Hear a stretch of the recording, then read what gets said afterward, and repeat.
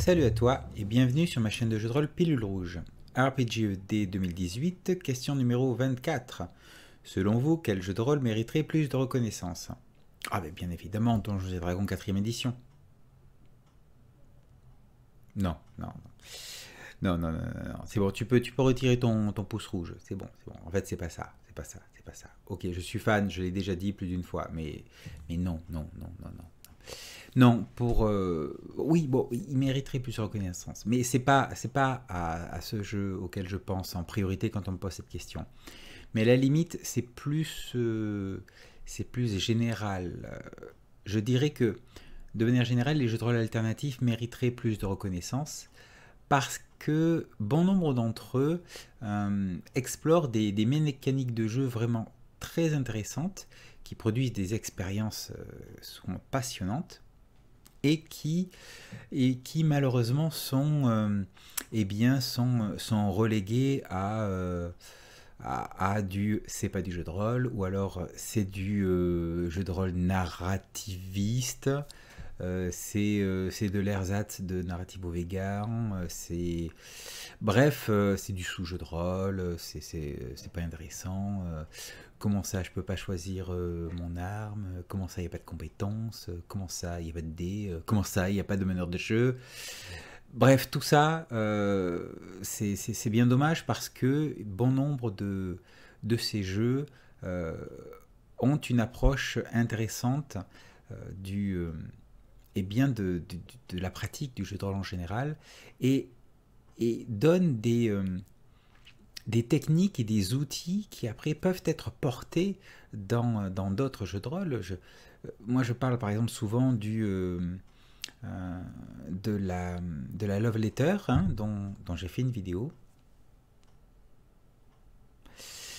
Et qui, bah, que maintenant je porte, bah, je porte dans, dans la plupart des autres jeux parce que la mécanique est vraiment très sympa, très bien trouvée et qui est issu de, eh bien, d'Apocalypse World à la base, et puis qui a été utilisé dans d'autres jeux propulsés par l'Apocalypse. Donc, euh, oui, oui, de manière générale, il mériterait plus de reconnaissance. Alors, euh, comment? Eh, Peut-être par une présence en boutique un petit peu plus, euh, un petit peu plus grande. Après, je peux comprendre que, eh bien, l'intérêt des boutiques, c'est de pouvoir faire, c'est de pouvoir les vendre ces jeux. Et comme ils font partie, on va dire, d'une d'un ensemble qui est assez peu connu. Ils vont pas forcément trouver leur, euh, leur public. Euh, ou très peu, donc ce ne serait pas forcément rentable.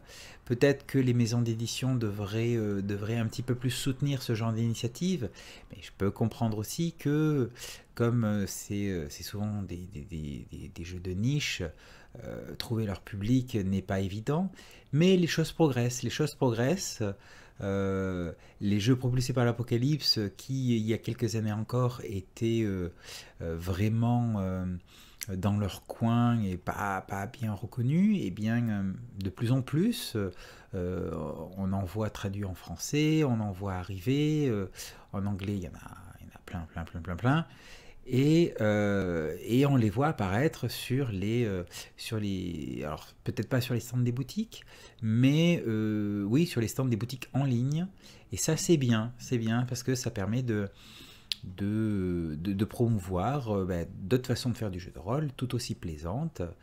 Et, et, ainsi, bah, peut-être ainsi de pouvoir toucher de, de, nouveaux, de nouveaux joueurs qui, eh ben, qui comme je l'ai dit dans, ben, je crois, dans une vidéo RPGED précédente, qui ne seraient pas forcément intéressés par euh, les systèmes dits traditionnels, euh, mais qui pourraient trouver leur compte dans des, euh, des systèmes différents, des systèmes alternatifs qui, qui, qui présentent les choses d'une autre manière.